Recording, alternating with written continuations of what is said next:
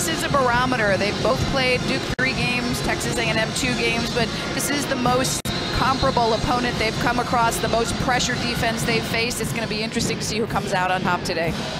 And Duke in their white, Texas A&M in the maroon. Great to be with you on ACC Network Extra for this SEC versus ACC women's basketball tilt. Bowles bounce pass down. Corsdale out of this game day to day, according to Coach Lawson. So back into the starting lineup as last year's ACC Freshman of the Year. Day Wilson with Brown, Volker, Oliver, and Taylor. That's the starting lineup for Coach Lawson and the home team, the Duke Blue Devils. Day Wilson drops it down low. Up and in. Good little move that time as the finish there from Brown. And that's a nice sign for the Blue Devils going in low post. Kennedy Brown, the 6'6 junior transfer from Oregon State. Nice little hook shot around the basket. Bowles, Green, Jones, Barker, and Patty, and finished at the rim there by Barker. We're tied at two. And yes, folks, that is a freshman. She, she's got such a physique, so strong. What a beautiful floater off the glass. You could tell Texas A&M was ready for that full court press. And how they handle the press, we, we said both both teams facing good pressure defense. Both of these coaches hang their hats on the defensive havoc they can wreak on their opponents. And Texas A&M did, did do a nice job getting right through the Blue Devil press. Debbie, let's look at the keys for both these teams heading into this one here. Texas A&M has good size and they're great athleticism in the paint, so they really need to dominate the boards. But what they don't want is to let Duke get into a track meet. They want to dictate the tempo. Duke is a great transition team, and for Duke, they want to get up and deny and be really disruptive with their defense, make it difficult for the Aggies to move the ball, and they're going to have to find a way to limit the size in the paint, box out, not give second shot opportunities. Always an honor to work with the longtime William and Mary head coach Debbie Taylor. Less than 90 seconds into this one, tied at two. Off the back end of the rim, Duke misses there. First shot for Taylor. Now A&M can push it. Nobody home, turnover. This is what we're talking about. The defensive pressure, the athleticism, the speed of the game is now picked up for both of these teams. And it'll be interesting to see how they handle it. Said it in the opening, a lot of new faces for both programs, new systems, both teams still learning and putting the pieces together. Final seconds there, just getting it in bounds. Day Wilson, stop and pop. Kept alive for a moment, but now Texas A&M can push. That was a brick, missed everything, rebound Duke.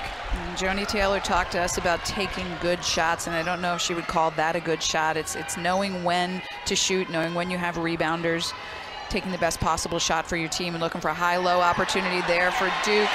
It's Kennedy Brown got her player sealed up really high, had a lot of space, throw that ball to the rim, easy bucket. And here comes Duke's press, full court man. See how the Aggies handle it this time. High-low executed perfectly to give Duke the two-point lead. Setting for three and buried there by Bowles. And that's the chance you take with the press if you have a really great shooter like the other wonderful freshman on this Aggie team, Sydney Bowles. She is an elite shooter. She can knock it down from behind the arc.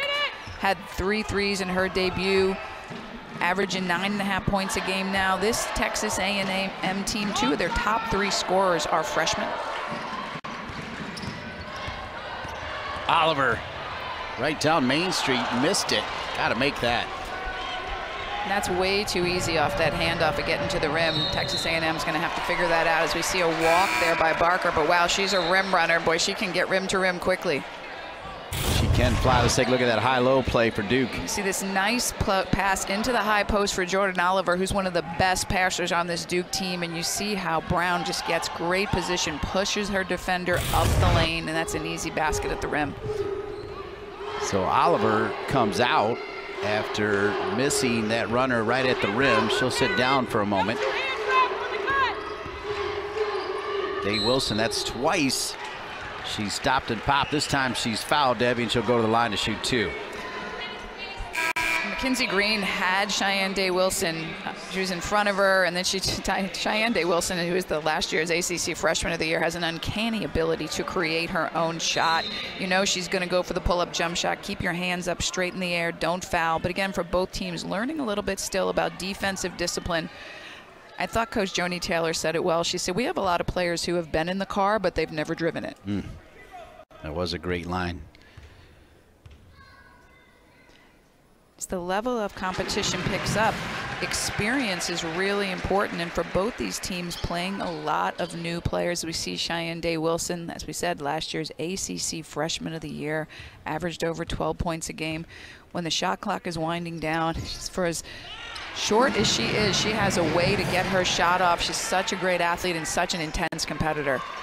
By way of Canada, the aforementioned Day Wilson. Beating the press with the dribble and some quickness. Bowles has another three. Great job by the Aggies. And you see how Bowles just buries herself on the baseline in the corner. Just break through that press, find her with her feet spotted up, and she's hit back-to-back -back threes. Six of the eight points for double zero, who is keeping an eye now defensively on number 24, Richardson. Richardson has ties to the new Texas A&M head coach. We'll see how long Duke stays in this press. They can get back. It's an immediate matchup with Sydney Bowles. Not going to give her another look from behind the arc against the press. Now Duke makes Texas A&M settle into their half-court offense. We'll see how they respond to Duke's pressure defense. It's got to be a big game for Richardson, though, going against her former coach and Joni Taylor. Just watch this nice cut up the middle and it creates numbers and Bowles is spotted up in the corner. That's a great pass, draw the defense, kick to a wide open teammate in the corner. Good pressure defensively.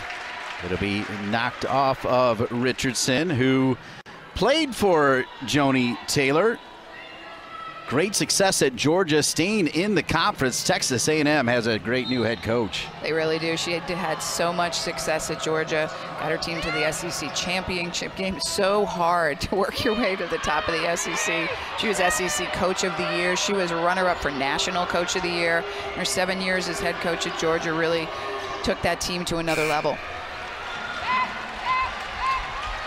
Miss there, so Duke can take the lead again. Taylor force that one. Wow. You talk about that power of Barker. She'll give it right back, though, and Taylor will finish this one. Unfortunate there after the rip from Barker.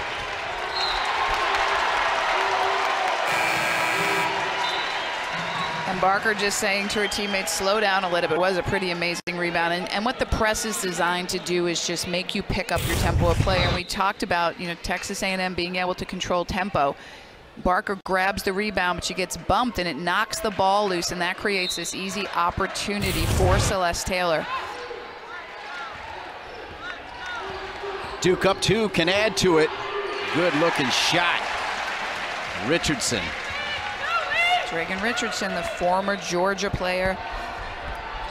Duke really sets a lot of ball screens, a lot of handoffs, and you have to be able to defend them, whether you switch them or go under them or go over them.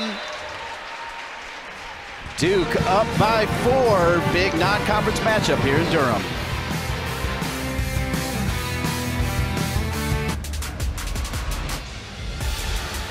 And after a stellar career as the head coach at Georgia, Joni Taylor brings her amazing coaching resume to College Station and takes over the helm of the Texas A&M program. She played in the SEC herself, and she may have one of the best coaching pedigrees in the game. She worked with legends. She played for Rick Moody, great SEC coach at Alabama, and then went to Louisiana Tech as an assistant working for Leon Barmore, then to LSU, where she worked for the great Van Chancellor, and then spent time with Andy Landers at Georgia until he left the program into her very capable hands. And now she's sitting in the chair of a legend, Gary Blair at Texas A&M. So she has worked with the best, and she's becoming one of the best coaches in the game. Great breakdown, Debbie, and a good look at Coach Taylor. Richardson, who I've mentioned a couple times, played for Coach Taylor last year, will go to the line. I started to ask you when we went to the press break, but that's got to add a little bit different feeling, I'd say, in the stomach there for Richardson going against her former coach. Yeah, you know, and, and, and Joni Taylor has such great relationships with her players. She's such a player's coach, so it's interesting. Um, you know, Coach Karen Lang, who's on the bench, who was a former assistant at Georgia and came, and obviously Richardson came with her, so I'm sure it's a pretty amicable relationship. It'd probably make you a little bit nervous. Here comes the press again. Texas A&M once again easily gets through that press. It eats a good 10 seconds off the shot clock. Now we'll see how they execute in the half court. You have to set good screens, make good cuts. Now we see the range of Barker. She can play under the basket. She can shoot the three. And here comes Duke in transition. Duke driving to the basket, and it'll be out of bounds to Texas A&M.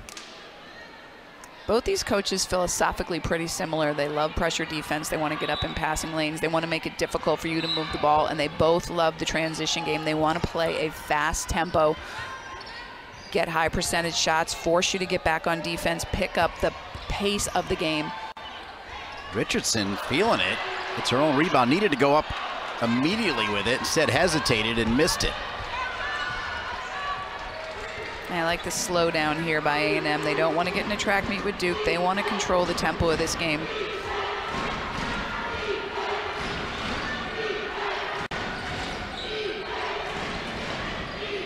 Duke five for 11 from the floor. Texas A&M three for seven. They trail by six. 3:33 remaining here in the first. Stop and pop. Really nice looking shot there from number two Barker. Wow, an amazing footwork too for the freshman. This beautiful reverse pivot in the pull up, and she hits from pretty far out there. But Duke defense, that's tough to guard. The Duke defense is really making Texas A&M work for every look they get at the basket right now. Brown at the elbow. Cut from Taylor. Taylor going to try to post up. That's great defense. Texas A&M saw that one coming, picked off by KK Green. You really have to communicate as Duke uses that pinch post to send cutters and handoffs on. And right that time, Texas A&M able to switch and talk and, and hold down and get the ball back. KK Green out of Chicago. Produced a lot of good basketball players, men and women. Hilton. Hilton, stroke look good. Back of the rim, rebound Taylor. Taylor can push it. Let's see if Duke fills the lanes. Now they'll set their offense. Taylor might be the offense. Little fake and air ball. Rebound for Duke. Taylor will reset to Day Wilson. Shot clock at 10.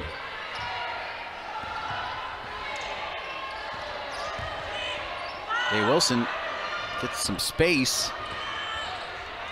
Rebound Richardson with a little left shoulder and then the right hand up and in. Now we talked about the boards and that was the third shot opportunity and it's Reigan Richardson, the Georgia transfer again with the easy basket right there on the weak side of the glass. Richardson and Brown. Richardson with six, Brown with four, and it's 16 to 10.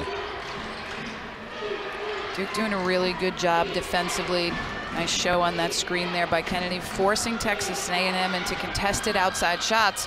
That one an air ball, and if Texas A&M keeps shooting from the outside, it's going to be a tough night for them. Day Wilson, great pass. Little hesitation, finds Volker. And Coach Joni Taylor wants to talk it over. After the air ball for Texas A&M, they go the other way.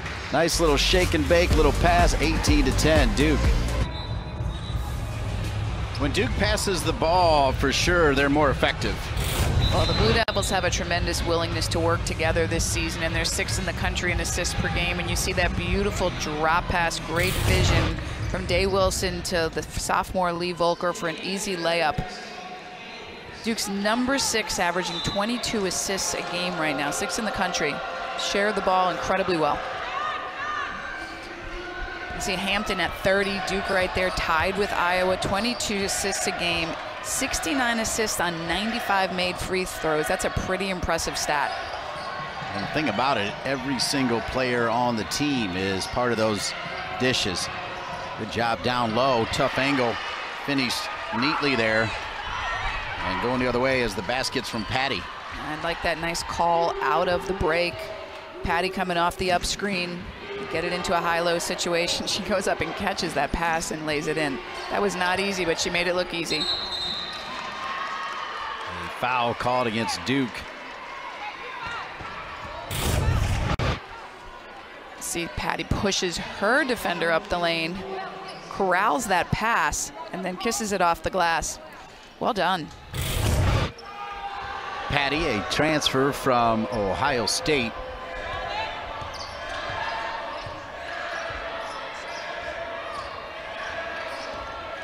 If A&M continuing to look to, they have a height advantage in this one. They've got more bigger body in the paint, and there's Patty going to work down low, and it's Elizabeth Balogun with the foul.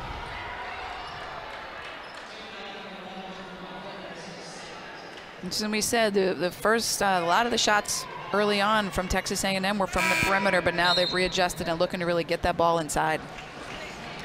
DeJesus, Jackson, Balogun, Oliver, and Heide now in for Coach Lawson. Hilton, Green, Malone, Jones, and the player at the line, Patty, in for Texas A&M, who will try to cut the lead to four. It's now five. And the great thing about this Duke team, and we talked about it in the open, when they sub, they don't miss a beat. They don't have a drop in talent when they go to their bench. They have so many weapons in the arsenal, so many different ways to score, multiple different different types of lineups they can play. Coach Lawson's put together a 17-player roster. They've got a lot of depth, a lot of size, and a lot good athleticism. DeJesus is fouled by KK Green.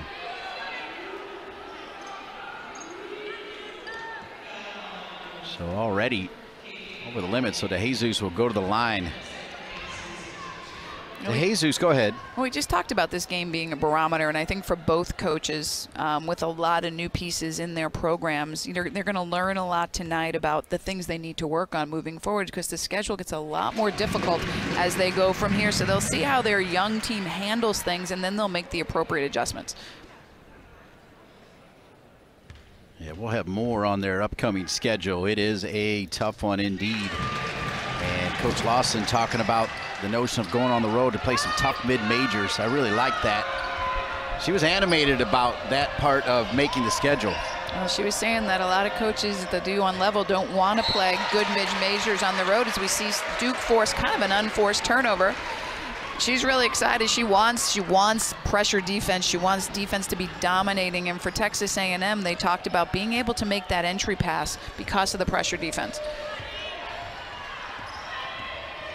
DeJesus. When you see the multiple screening actions, and well done, well defended there by Patty. She's a returning starter. She averaged seven and a half rebounds, led the last season, leading the team, led them in blocks. She's the most experienced returner they have. And there's Patty. And after one quarter here, the SEC's Texas A&M trailing the ACC's Duke Blue Devils 20 to 14.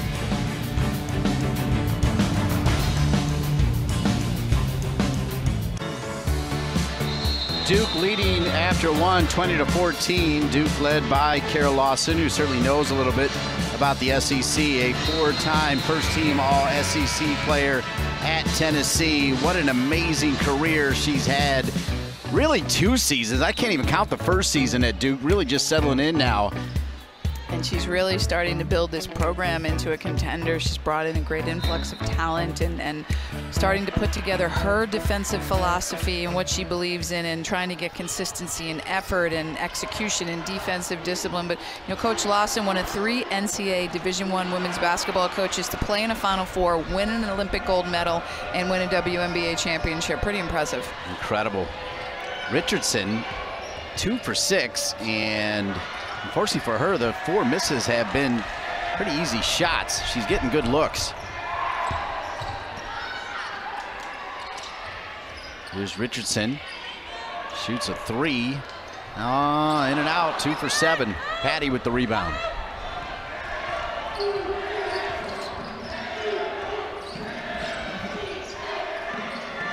Just pop back off that high screen. Uses the left hand. Good defense. Nice pickup by Balogun. Coach Lawson and Coach Taylor got to work as coaches together this summer as assistants in the FIBA Women's World Cup, bringing home the gold medal for the U.S. And they got to spend a month together uh, and really enjoyed spending time with each other. We got to talk a little bit about both with both of them today. But what an opportunity when you get to coach USA basketball and, and travel with some of the best players in the country and continue to evolve as a coach. Jackson comes out of the game for Coach Lawson. You need to keep your eyes on the scores table because Duke will run in players a lot. Taylor with the back cut, not there, as Roby slowed it down. Roby trying to slide her feet. And another forced shot there from Richardson. Taylor, good pump fake. Misses at the basket. Rebounding was really important to Coach Lawson, not just for this game, but moving forward. Texas A&M having a little bit of difficulty guarding that multiple screening action that, that Duke's using in the in the pinch post. Whether they're switching or however they're guarding it, it's got to be more communication. And it's tough too when you start two freshmen and you have a younger team um, who hasn't had a lot of game minutes and learning and implementing a new defensive system. This is a Texas A&M team who, under Coach Gary Blair, who was Joni Taylor's predecessor, played a slower game. They played more zone gap defense. So they're learning a whole new defensive system, and with that comes some growing pains, especially early in the season. Sydney Roby into the game. ACC fans will recognize her as she played for former Duke great Coach Meier down in Miami, now a member of the Texas A&M team. And she's a returning starter. She started 15 games last season, and you know, for this, for her, this style, this up and down the court kind of style, is is not as easy as playing in the system she played in before for Coach Blair. And, and to her credit, Coach Joni Taylor telling us she stayed this summer. She stayed to work with the strength and conditioning coach and get in better shape. And you can see she brings great size to this team. And we've got a little bit leak out there. We're going to bring it out, settle down, run the half court offense. Green. Green wearing 23. Bowles came top of the key. Blue Devils right now doing a great job not letting the Aggies make the next pass. Good pressure defense. Barker with the step back. Wow. Kills it, drains it. She's excited. Wow. That was impressive because you nailed it. The defense, all five Duke players, strong D, but the step back from number two. Three-point shot is keeping Texas A&M in this right now. Only down five, under eight minutes left here in the first half. Backdoor cut Taylor and the and one. That is a great read by the senior Celeste Taylor. Switching on the perimeter, but the switch was too high. And she gets, here comes the switch, and she sees the opening to the basket, and she just slips the switch to the basket and is able to draw the foul. You got to body up on that switch, not lose your man. And that's experience right there. Celeste Taylor, she's a transfer from Texas. As a sophomore, she helped lead Texas to the Elite Eight. She has a lot of experience in big-time games, and that only going to bode well for the Blue Devils coming down the stretch. She is tied with Barker for game-high seven points. Again, breaking the press with the dribble, but you got to be aware as Taylor comes back, gets a piece of it, and it'll be a jump ball. It'll stay with Texas A&M. Celeste Taylor is the heartbeat of this team. She's an energizer bunny, and you see she can get from one end to the other end very quickly. She led the Blue Devils in steals last year. She sat out for seven games, and they were two of two, two wins, five losses without her. So she is a big piece of the leadership and the energy of the team. DeJesus with the unfortunate foul. I'll take that because her 1v1 defending, I think, is outstanding. Number two, DeJesus for Duke. She's a great off-ball defender. She knows how to get in passing lanes. She knows how to work. She just hustles all the time. And as you said, I'm sure Coach, Coach Lawson is fine with that extra effort on that foul. She just hustles. Here's Green. I wondered if Barker was going to go heat check that time, but she gives it up. That's a forced shot. Kept alive by Barker. Now she's she gives it up again, looking for Roby. The Blue Devil defense is really dictating what Texas A&M is doing right now. They're forcing them into contested outside jump shots, difficult shots, and right there, another turnover by the Aggies, just making them play at an uncomfortable pace. We just have this single down screen, pop back by DeJesus. Celeste Taylor's going to use that opportunity to post up against a smaller defender in Mackenzie Green, the graduate student, make the easy layup. It's the third time she's posted up. She's made two of the three, and the lead is 10. Well, she's 5'11". She's got great size for a guard, which gives her the ability to go down on a block and make that happen. Here's Roby. And it'll be pushed. Outlet pass. Taylor can run the court. Got to make that layup right there. When you're running it like that, it's still just a 10-point lead. That's one of the first transition possessions you've seen Duke have tonight, and all ca caused by that double team in the post and Roby trying to throw it out. She turns it over. Every pass is contested here. Wow, good little move with the dribble, but missing it there. Barker, she's got a handle as well, Debbie. She's got quite a skill set. She's one impressive freshman, and as we said, the number three recruit in the 2022 class. She was a WBCA McDonald's and Jordan Brand All-American, won a high school national championship, big-time player, great drop pass by Reigan Richardson. She's having a great game.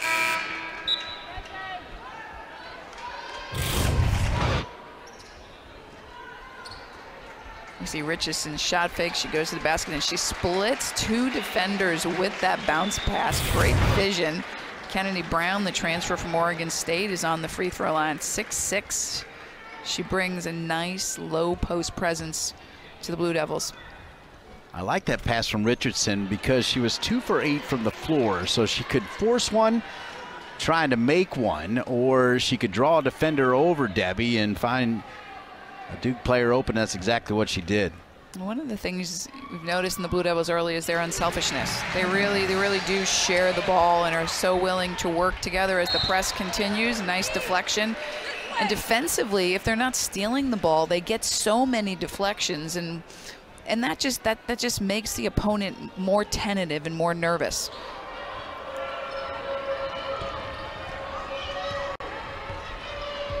Soft pressure that time. And picked off by Taylor. Taylor, defensive weapon, finishes it. She's got 11. First player in double digits. Taylor, number zero for Duke. Got to step to the pass when you're playing against an aggressive defensive team like Duke.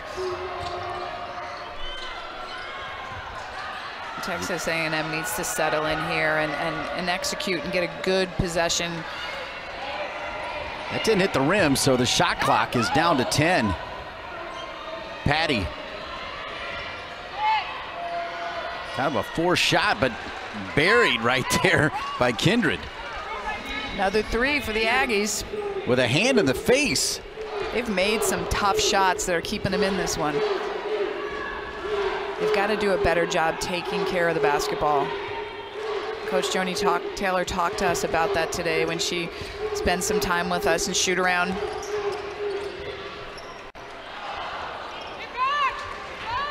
Texas A&M four for seven from three. As Debbie Taylor just said, the three truly keeping them in this game, and yet they're still down 10. Here's Barker using that power and gets the rebound. She's got a little bit of Ron Artest in her game, I think. A little bit of scrappiness. We got a good one here.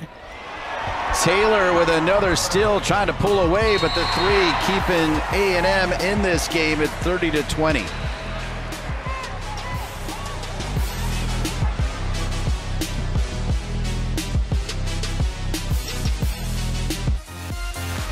For Texas A&M, a six foot four forward number two, Janiah Barker.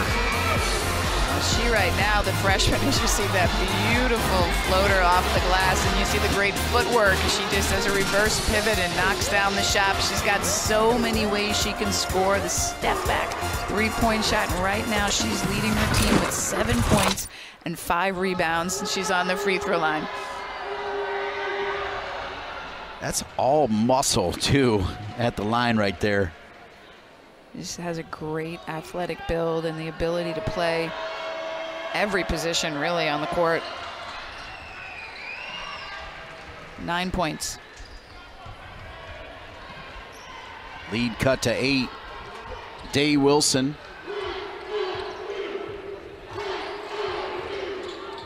Slowly brings it up. Balogun wants to get a shot off. And rebounded by Texas A&M, trying to keep it alive there is Taylor. Jump ball will keep it with Duke. Barker got lucky on that, and we talked about freshman learning defense. She went under that handoff, and Balogun read that and stepped back. And Balogun, graduate student, much more experienced, but you've got to really, when you have a shooter, you're going to have to go over or switch that out. Barker fell over over there before. Looked like she rolled her ankle a little bit. So she's gone to the bench right now talking to the training staff is Celeste Taylor with the pull-up. Just can't knock it down. Here comes Texas A&M. The outlet for Texas A&M.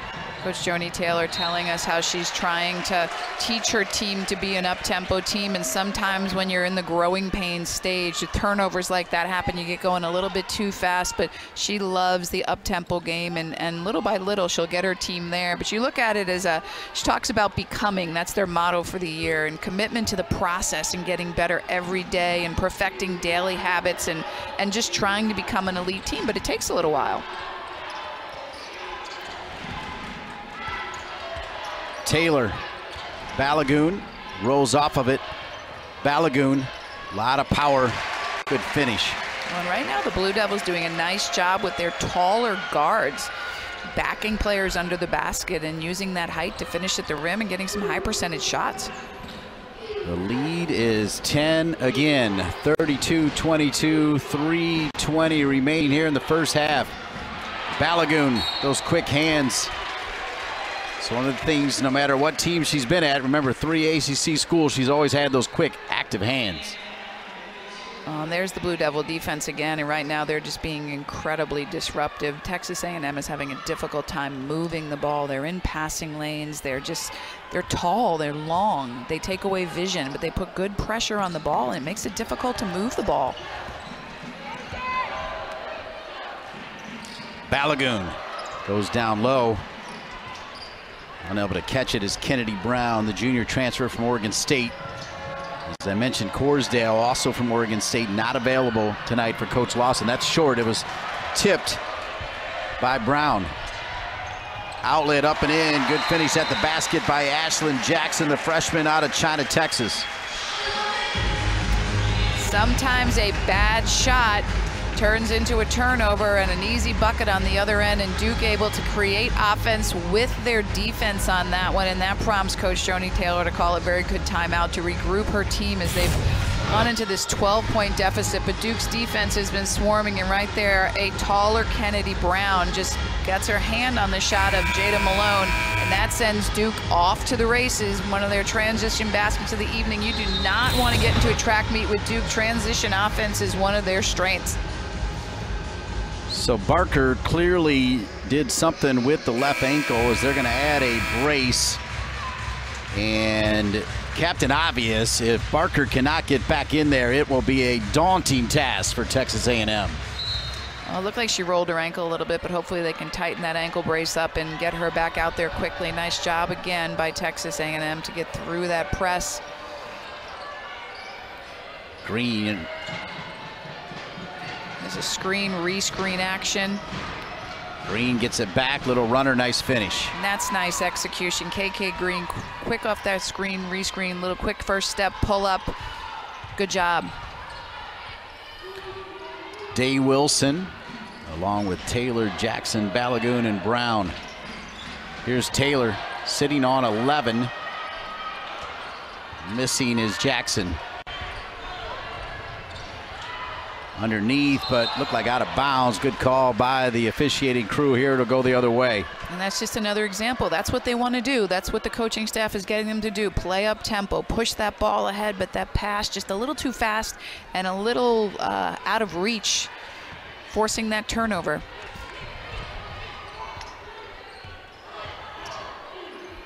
Day Wilson.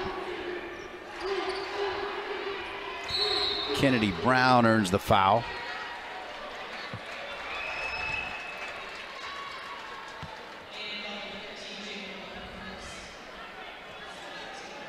These turnovers are starting to pile up for Texas A&M, and they can ill afford not to get a good shot off when you play against Duke. And we said so many multiple offensive weapons, so many ways that they can score. They're great in transition, and their defensive game gets better and better every time they step on the court.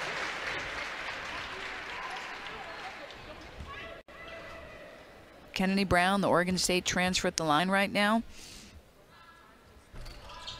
Knocks down another one. Lead is 12. Blue Devils going to back the press off a little bit. We can tell you Barker has moved closer to the assistant coaches on the Texas A&M bench. And hopefully she just tweaked it and they'll have her back in the second half. Kennedy Mal Brown just playing off out there. Jada Malone's not going to shoot it, so she's going to help out in the post. Shot clock's down to five. Little daylight for KK Green. Rebound Balogun.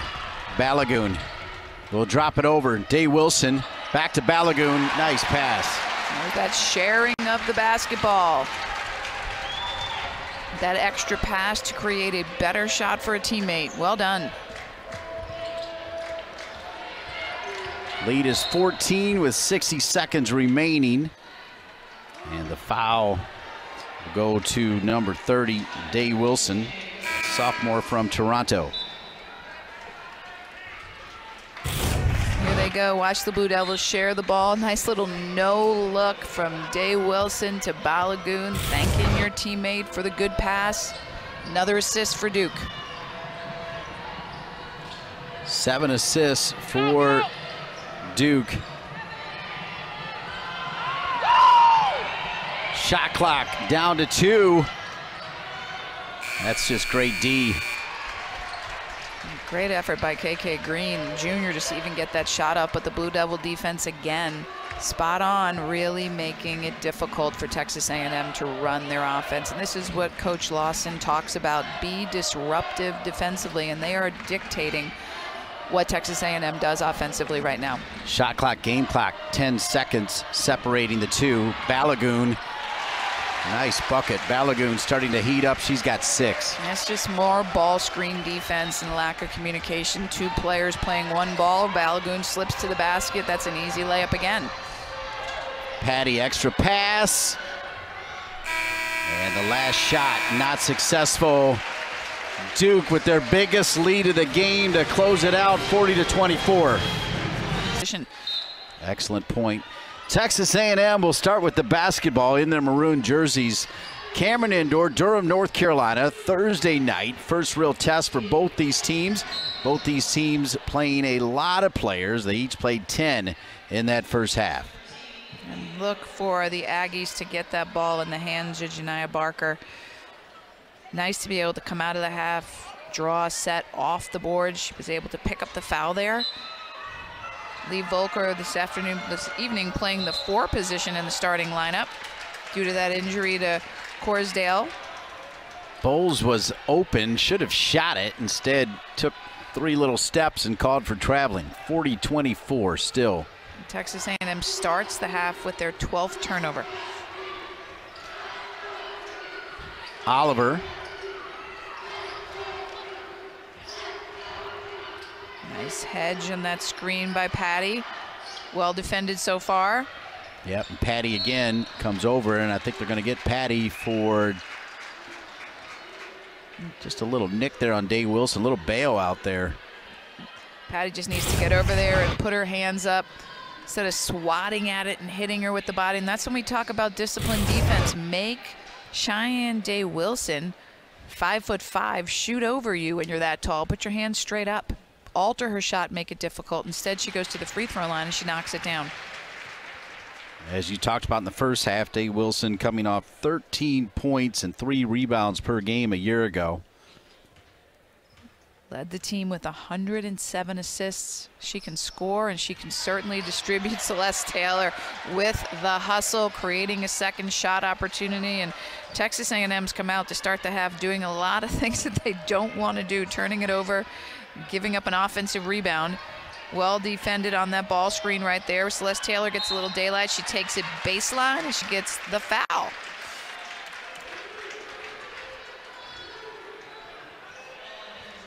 It's the junior, Sahara Jones with the foul. She had 11 points and 11 rebounds versus Army. She can do a little bit of everything as a big guard. She can score at three levels. She's got a nice mid-range. She's only a junior, so she'll have another year in this system with Coach Joni Taylor's trying to implement in her first season in College Station. What a delight to spend some time with at the shoot around today as well, Coach Taylor. Uh, she's really positive about the future of this team, and, and she's going to build it brick by brick, and she knows how to do it.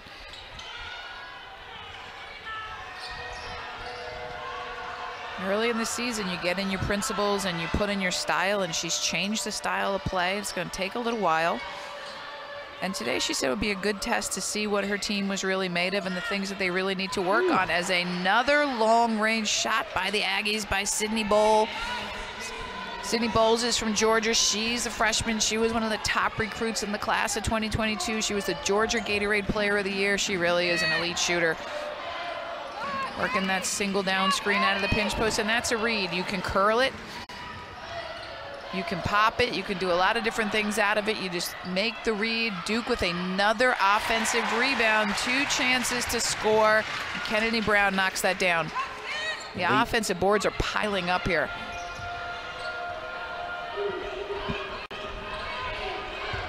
Forty-three to twenty-seven.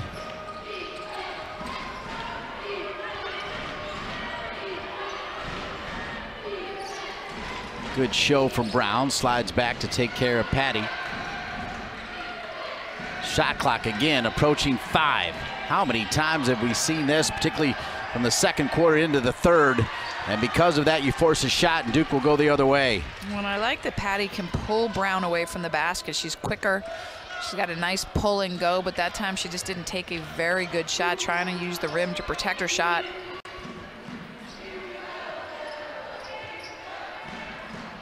Volker was open, deflected. Good lesson for you youngsters at home. Keep your hands up. You hear them say that all the time. Patty there with the deflection.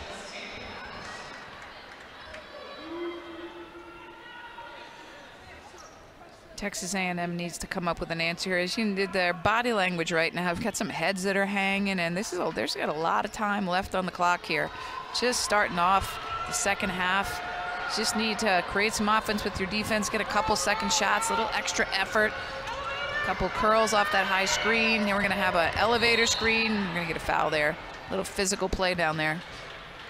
You mentioned Joni Taylor, and she's right. She talked about the power of women, and she's doing great things outside of the basketball court for women of all ages. No, she really has a comprehensive program and she wants to impact the community and she runs a program and she did it at Georgia too called Beyond Basketball and it's for women in the professional women in the community. They meet once a month at 8 a.m. and it provides women in the area a place to go, uh, some inspirational speakers. She had Kalia Collier, who's the VP and Chief of Staff of Basketball Operations uh, in the NBA now, and and you know she's just um, brings women together to empower them. They talk about community events, so just going the extra mile for women in the community. I love that about Joni Taylor and teaching her players to be complete people.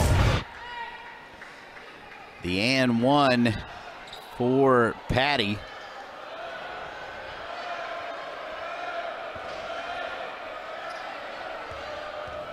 This crowd here on a Thursday night, Cameron Indoor, pep band, cheerleaders, dance team, all out supporting Coach Lawson's Duke women's basketball team. Volker. And Janiah Barker is going to get called for the over-the-back foul there, but I like the effort. She knows they've got to they've got to start to come up with the ball. They've got to uh, crash the offensive boards. Here we come in transition. It's a good pass, and Lee Volker with the crossover, and she tries to finish it, but then Janiah Barker gets called for over the back, and Duke with another bucket, extending the defense again, making it difficult to make that entry pass. Taylor with another three. She's got 14 points to lead all players.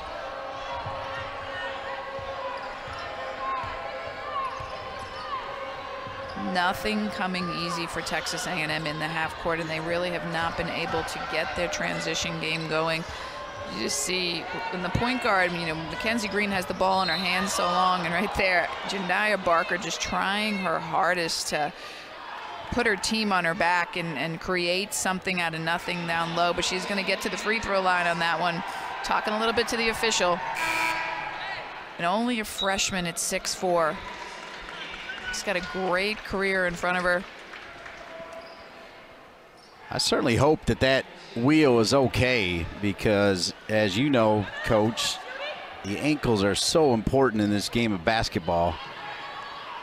Sometimes you can roll it, get right back on it as if there's no big deal. Sometimes that thing can linger a little bit.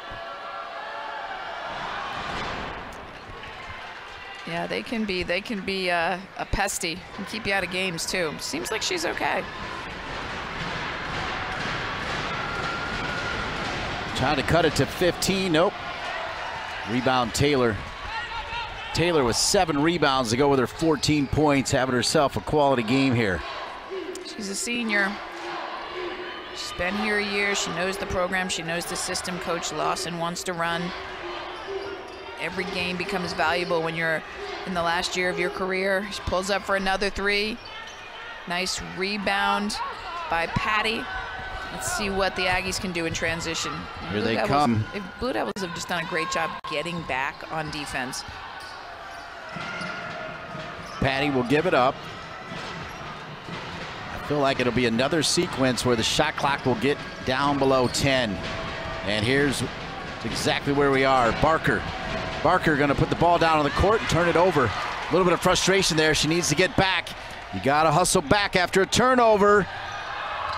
Looking for the contact and the foul. Probably earned it. No whistle, though, for Day Wilson. I thought Barker missed an opportunity to hit Patty down low on that high-low that time. She just seems like she's getting frustrated out there, and that's you know part of being a freshman. But you've got to got to maintain. And when you're that good of a player, you have to maintain a consistent demeanor, stay positive. And there's Booker looking for the gets a little bit of daylight, and wow, drains the three. Another three for Texas A&M. Really sweet stroke from Barker. Six for 11 from behind the arc for the Aggies. Barker's got 13.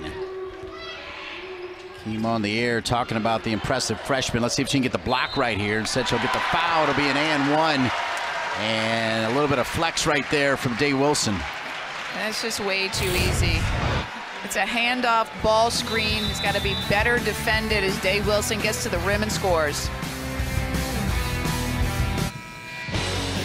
A bright light for Texas A&M in this game is they're shooting from three.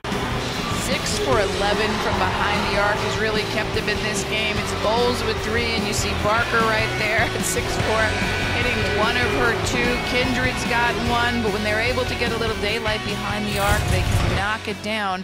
Right now, they're, you got to look for a silver lining here. Your two freshmen, Bowles and Barker, leading the way 22 combined points, the rest of the team with 11, and, and Sydney Bowles and Janiah Barker were both signed at the University of Georgia, committed to the University of Georgia, and when Coach Joni Taylor took the Texas A&M job, they came with her, and they are certainly the future of this Texas A&M program. A little bit of frustration there on the bench as Taylor's assisted by Chelsea Newton, great player at Rutgers, Robert Mosley, and Catherine Graham. The lead is 16 just look at that denial defense by Reigan Richardson, not letting the next pass, just interrupting the flow of the offense. The offense can't get any kind of good rhythm going when the next pass can't be made, and Duke's denial defense has really inhibited the flow of the Texas A&M offense tonight. Balogun will knock it out of bounds. The help down on the low block from Heide, number 42, worth noting. Heide, yet another one of the bigs that comes off the bench for Duke. She's a transfer from Tulane, 6'3 graduate student. She's from Austin, Texas. Thought Heide fouled Patty, no whistle. Taylor driving to the rim, picked up and in by Richardson. Richardson now three for nine, and she's got eight points. Good, good hands from Oliver. Deflected, so not a backcourt violation. But look at how much time is off the shot clock here. Now Texas A&M takes a deep breath, but they got to figure out a play here, Coach. They've really had a difficult time executing right there. A hand check by Celeste Taylor. So aggressive on defense. Second foul on Taylor.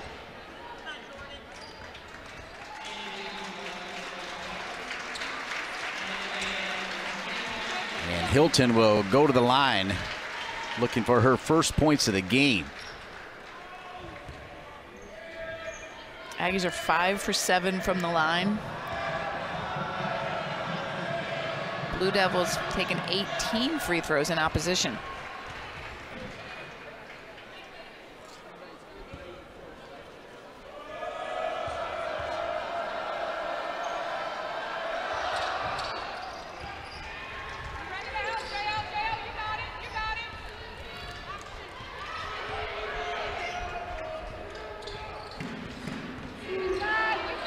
We'd see a little bit of pressure there from Texas A&M. Said Duke comfortable. Oliver, that's a good play. Balogun, I like that play. Balogun finishes.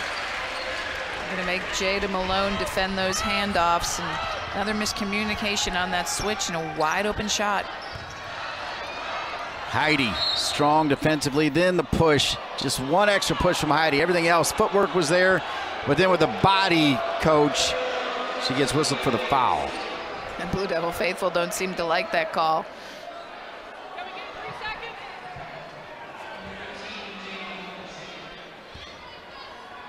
Grad student, as you mentioned, from Austin, Texas, transferred from Tulane, Heide. Up and in. Malone.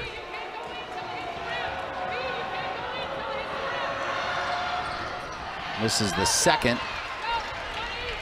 And going the other way, Richardson to Jesus. Good pass, Heide. She'll go to the line to shoot two. Nice dish. Another beautiful pass by the Blue Devils into Jesus with the no look back against the grain between two defenders and Heide just unable to convert. What a beautiful pass there by Vanessa De Jesus.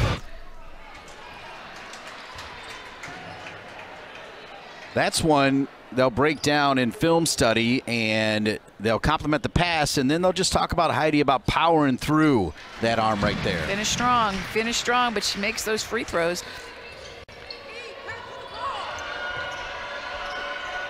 Fifty-four, thirty-six, three minutes remaining here. It's going to take Coach Taylor a little bit of time to reset a Texas A&M program that was really, really good for a long time down year last year, and Coach Taylor even said a two or three year process. She's got a great staff, really good recruiters, and she will certainly get it done, but as you said, it's just going to take a little bit of time and patience. Oliver with the rebound. For a moment was thinking coast to coast. They'll drop it back to Heide. They're trying to find her. In and out. Good positioning by Heide. Everything but the bucket. Texas A&M will go the other way and a travel. So turnover is starting to be a problem for the visitors from Texas A&M. Well, it's decision making too. Better decision making comes with progress. And we said that becoming, that's their motto. And just, you know, committing to the process. And little by little, those decisions start to improve. And the defense starts to improve. And the understanding of the system starts to improve. 14 turnovers for Texas A&M, just four for Duke. That'll make Coach Lawson happy.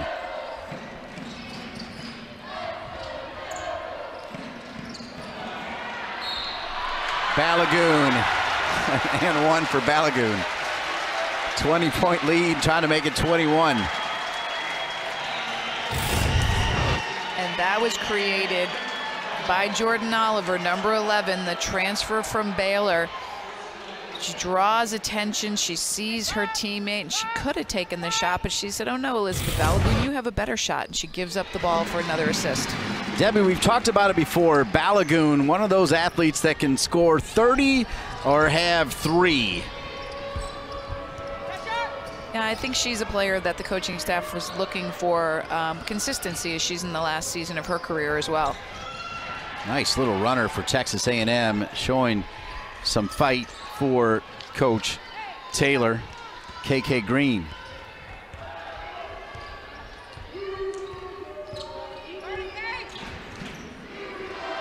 Jackson. Screen from Balogun. They continue to try to find Heide. Well, they have multiple options in their sets. They've got a lot of reads off of screens and handoffs, and then they have some post options in there. And Heide's been able to get some really good position on Sydney Roby. It's a good look inside.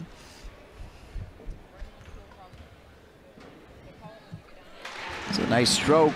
You commented on it before. If you're not going to make it, you go to the line and you make your free throws. It's all good. There you go. And Blue Devils shooting 77% from the line right now. Smooth for number 42, and it's a 21-point lead.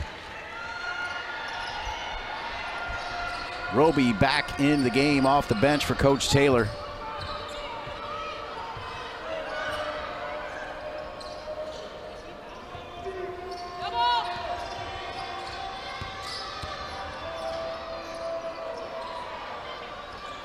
Good pass down low, better help from Heide, and that'll be a tie-up. And it'll go back to Duke, I do believe. Possession arrow in favor of Duke. Solid minutes for number 42, Debbie Taylor, as this team is deep. Yeah, and she's a great example of depth in the post for Duke and a lot of different players getting minutes. You know, different different rotations, a lot of options for Coach Lawson and her coaching staff depending on the opponent. Yeah, a couple weeks ago, you asked her about the 17 players. Uh, off-ball foul called on Balogun, and she embraced it, the 17 players. She was ready for it. She talked about the fact that, you know, they were playing with mass forever, and of course, her first season got cut short after, I think, four games, and she's like, she'll take the 17 players. She, they get to compete for playing time. She said after a season with injuries where they didn't have enough bodies out there to practice against each other, she's happy to see that many out there. I mean, she's got 11 transfers on this team, uh, uh, eight new players, so a lot of a lot of bodies that create a lot of options. And she did sell us, She knew one thing tonight that would happen. She knew her team would work hard, and that's exactly what they've done. Spot on. Alongside Debbie Taylor, Dean Linke, delighted to be with you at Cameron. Such a great venue. Spent the whole day here today, Debbie, and soaked it all in. It's just so great to be here. It is. It is a wonderful place. Balogun can hit the three, chooses to drive to the basket, contact from Barker, and she'll draw the foul.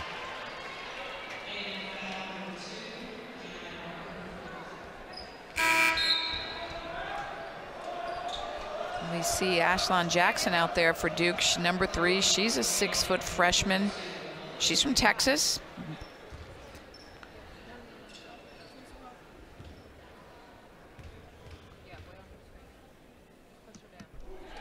Balogun with 12. Just starting to get into the meat of it now here as you take a look at the upcoming schedule for Texas A&M. Well, things just get tougher for both these teams, and, and you know that's why today was just such a really good measuring stick to evaluate where you are. But you look at A&M, Texas, Southern Texas State, a very good Rice team. Then they go to Kansas, um, and they get closer and closer to SEC play in the very, very strong, one of the strongest conferences in the country. Shot clock is off. This is a big possession and another turnover for Texas A&M. That's 15 turnovers that one was kind of unforced, I'd say, Coach.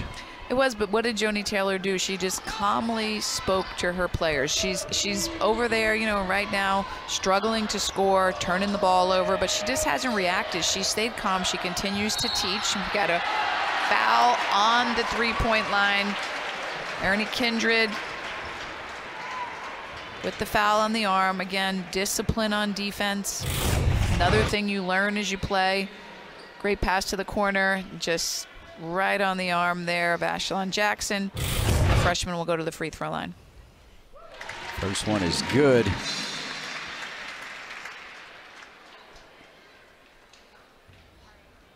This is a little bit of an added dagger to Texas A&M. She does miss the second.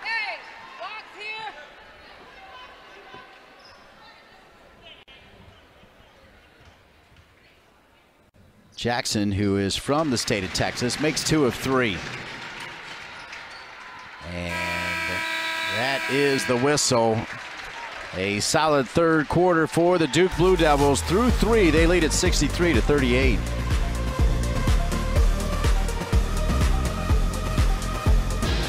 Duke 63, Texas A&M 38. Their ball screen offense for the Blue Devils solid.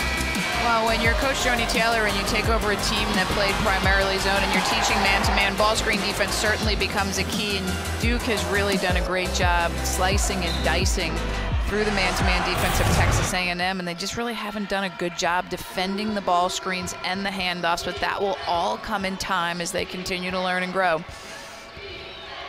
Fourth quarter, Coach, I got to ask you, A&M way down here. What are you trying to do here as a coach with this new team if you're Coach Taylor? Not that. You just keep learning. You, you you'll watch her. She'll just keep teaching. She'll stay positive, and you go back and you watch the film, and you you fix the mistakes. And every day you go back to practice, and you you get a, another day better. They've got a lot of work to do, but they've got some good young pieces. They're bringing in a really good recruiting class, and they'll build it one brick at a time. Oliver. You know, leadership's really important for team success as well, and I think right now Texas A&M is searching for a lead. It's a nice back cut by Balogun. Duke's done a nice job with their offensive execution tonight as well.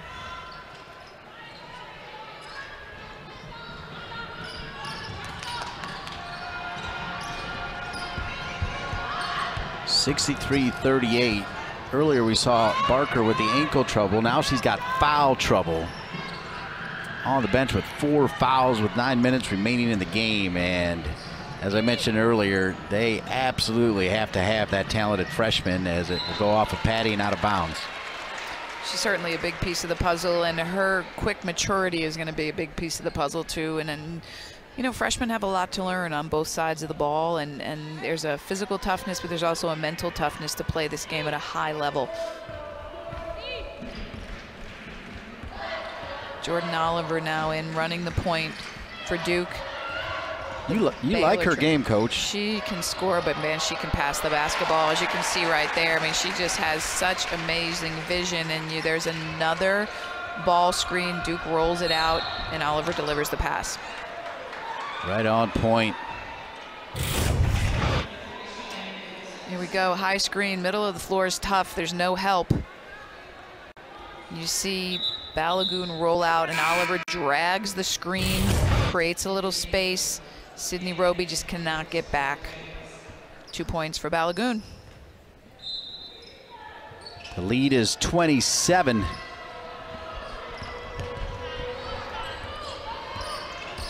Early pickup from Day Wilson. There's that screen, rescreen action again. Well covered by Day Wilson. Another contested pull-up jump shot, difficult shot. Second chance opportunity though for Texas A&M. Let's see if they can take advantage of it, coach.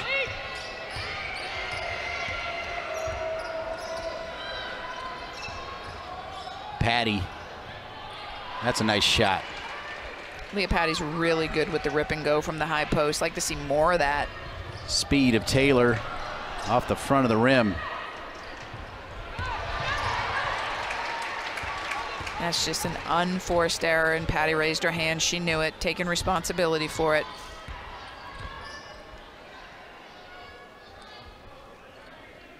Looking to make it 27, and not a great shot that time from Brown.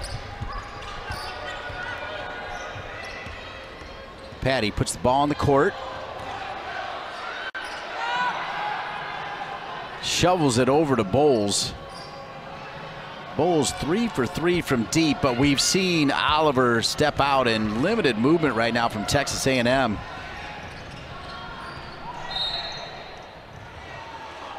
Body language out there confidence is fuel, and right now Texas A&M lacking a little bit of that. it's hard. You know, you're playing against a really tough defensive unit in Duke, and you're having difficulty moving the ball, and you're at the end of the fourth quarter, and you, you got to keep going. You got to finish this game, whether you come out of it with a win or not. Keep playing, keep learning, and, and right now they're just not moving. You got to cut hard. You got to set strong screens, make good passes, and, and they've got to. Texas A&M has to pick it up a little bit here. Jada Malone back into the game for Coach Taylor and Texas A&M. They're such a different team without Janiah Barker in the game. There's a nice take by Jada Malone. Yeah, right off the bench, up and in. Malone, a sophomore from Spring, Texas, went to the Village School. Heide right back in there. Balogun. Boy, look at the difference in the movement here for Duke.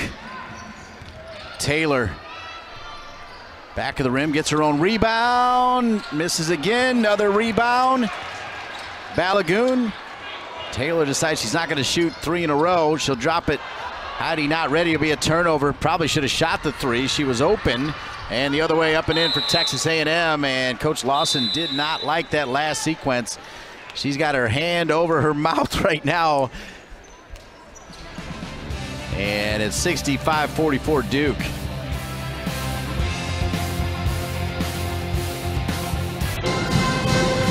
Duke 65, Texas A&M 44. That's getting into it right there, the Pep Man. Wow, he is playing the cymbals, boy.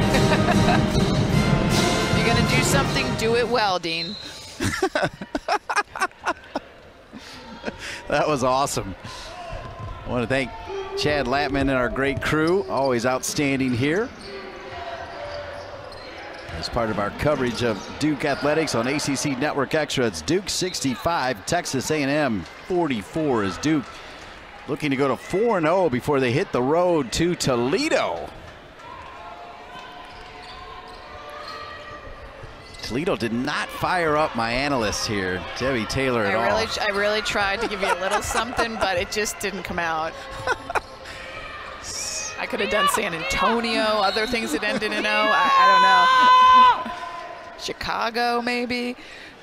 I could have been talking about Portugal. They're ready to really get going here. Check this out. Toledo, UConn. And then they go on the road for Phil Knight Legacy. Northwestern will be fun, and then Richmond. Well, this is what you, this is how you find out what kind of team you really are. Great execution on the inbounds. And Duke's got quite a competitive slate with a very good mid-major program in Toledo. At Toledo, they pack the house, and then UConn. Uh, and then they continue with the Phil Knight legacy. So some high-level competition, and, and we'll come back, and after that string of games, we'll see what they're really made of and where they stand. Bowles lost her shoe. Coach Joni Taylor. Joni Crenshaw when she was lighting it up at Alabama. Now I think she has a really cool last name. Richardson. I, I, I got you there, Coach. Debbie Taylor, Joni Taylor. It all works.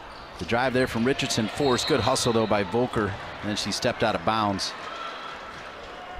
Lee Volker, the sophomore, has found herself in the starting lineup this weekend, and it's really because Coach Lawson says she just does the right thing. She's in the right place at the right time. She makes the right decision, and she just kind of makes the team move. She has a great understanding of the game of basketball. Over 330 now without a point from Duke. These are the kind of droughts that Coach Lawson has talked to us about quite a bit that she worries about, particularly when you think about that schedule coming up. They cannot afford those kind of droughts, even at Toledo, where they'll be pumped up, as you said. It'll be a nice crowd there. There are, in fact, a lot of Duke fans in Toledo. Volker with the rebound, and it's 65-46.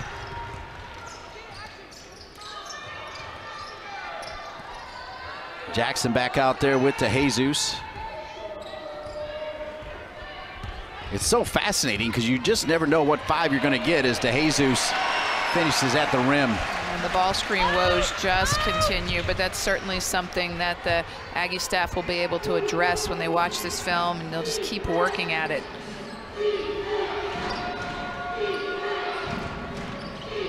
Sixty-seven, forty-six. Nice finish from Patty.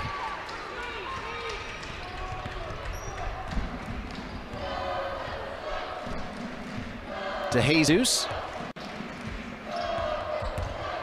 Feel like a player that just makes the most of her minutes, never knows exactly how many she's going to get as she'll hustle here for the rebound. Just had that layup.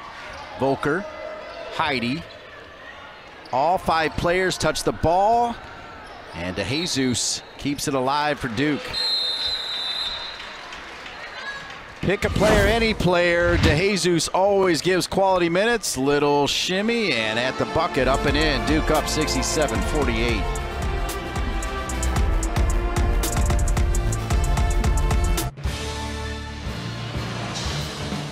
Coach Lawson continues to shuttle players in and out. You never know what five are going to be out there as this bench is deep.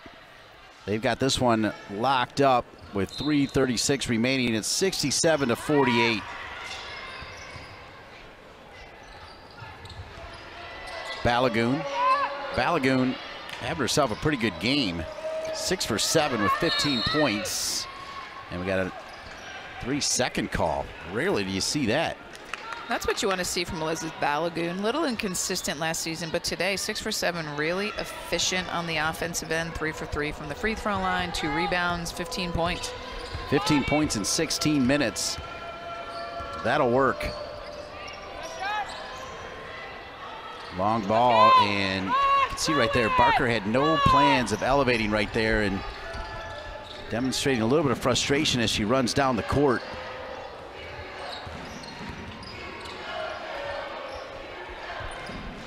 Balogun with the leak right there was open for a moment. Backcourt pass. Jackson misses at the basket. It'll stay with Duke.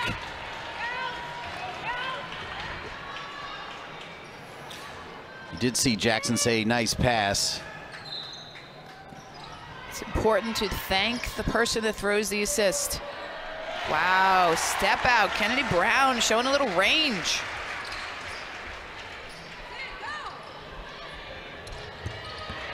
The pressure from Duke continues to work. Richardson. Balogun. They're going to keep it with Duke as well. Boy, if you're Kara Lawson, 69-48, and you're still hustling, diving on the floor, you'll take that as you get ready to hit the road. That's what she told us. She knew her team was going to go hard. It's kind of been the signature of this Duke team. You know, there's only so many things you can control as a coach and as a player. You can't control whether your shots are going to go in, but you can control how hard you play, the level of effort on defense, level of effort on the boards, the energy you bring to the game. And the Blue Devils have certainly brought that. DeJesus trying to hit Balogun on that roll. Kick out for DeJesus. Blocked there by Patty. A&M, the outlet. Bowles, yes. A&M with a transition basket.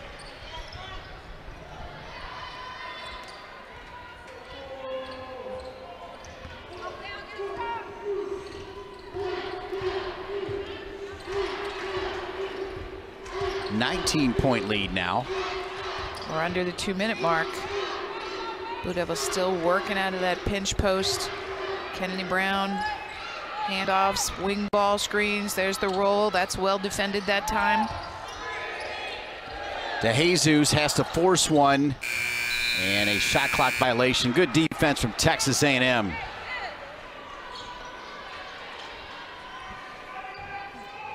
It's important to be able to play 40 minutes. And right now, um, Blue Devils not necessarily offensively as crisp as they were to start this game, but they're also getting a lot of players minutes, and that's going to be important as they get into more highly competitive games, bigger, stronger, tougher opponents. Turnover. Richardson, Richardson will finish a steal and a bucket. They needed that. Duke, two of their last eight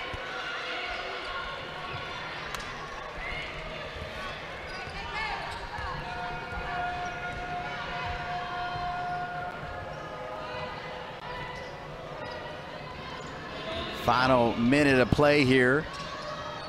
Green.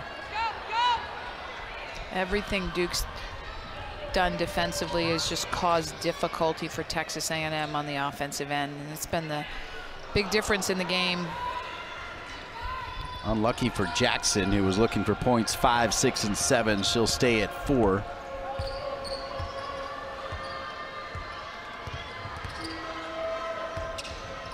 Bowles out there with 13 points. Patty out there with 10. Barker now on the bench and a foul from Richardson. Yeah, Kara Lawson just watching her. You don't see her on her screen, but she was not happy about that foul. She's still coaching, boy. She's got it. She's got a lead. She's going to win this one, and she does not sit down and she does not stop coaching. She's trying to build this program, and she's constantly teaching.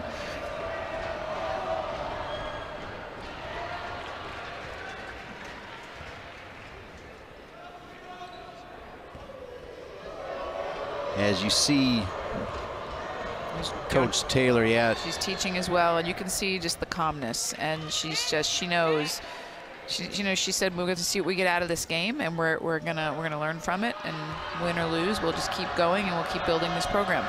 With that, if you could elaborate, where do you see A&M going forward here? What do they got to fix? Well, I think they have to get much better defensively, and they're young, and they have a lot of new players out there, and she's gonna she's gonna get them playing the pressure man-to-man -man style that she wants, but it's gonna take a while. And, and the ball screen defense example, it's perfect to, to show the weaknesses in your defense. Duke did a great job exploiting that tonight.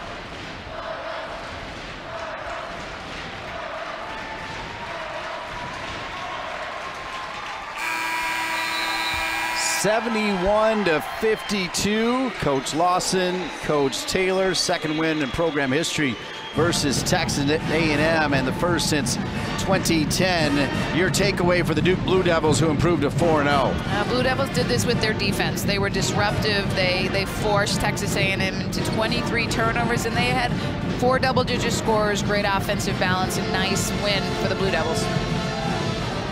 Up next for Duke is Toledo. From the opening whistle, Duke looks strong, and they'll wrap it up. I want to thank Chad Lampin and his great crew, the talented Debbie Taylor. For all of them, I'm Dean Linke.